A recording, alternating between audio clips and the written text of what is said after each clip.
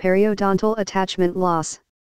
Loss or destruction of periodontal tissue caused by periodontitis or other destructive periodontal diseases or by injury during instrumentation. Attachment refers to the periodontal ligament which attaches to the alveolar bone. It has been hypothesized that treatment of the underlying periodontal disease and the seeding of periodontal ligament cells enable the creating of new attachment.